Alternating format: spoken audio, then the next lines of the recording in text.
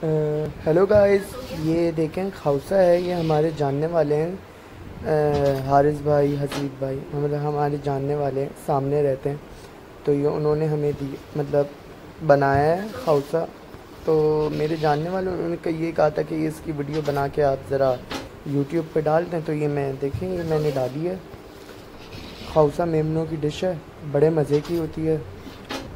इसके अंदर वो कड़ी होती है सेवैयाँ होती हैं स्पैगेटी जो फालूदा होता है, पापड़ और कीमे का सालन होता है।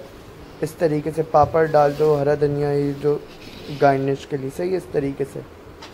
बस, इतना ही है।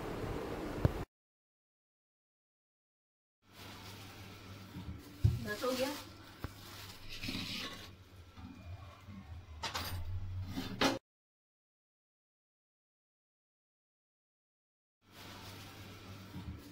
हो गया